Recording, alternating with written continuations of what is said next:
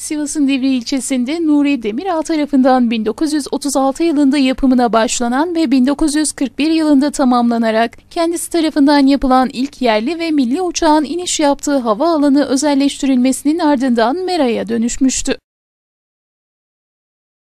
200 dönümlük arazi üzerine yapılan havaalanında yenileme çalışmaları hummalı bir şekilde devam ediyor. İlçenin ulaşımına ve turizm potansiyeline kazandırılacak olan havaalanına ilk inişin ise önümüzdeki yaz döneminde olması planlanıyor.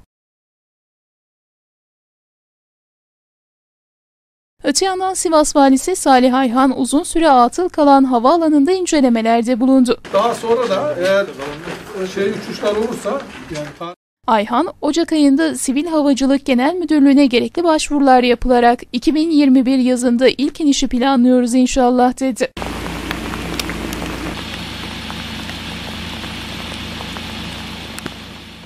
Bölgeye pistler, apron, hangarlar, eğitim okulu, sosyal tesisler inşa edilerek lavanta bahçeleriyle de güzel bir görünüm sağlanacak.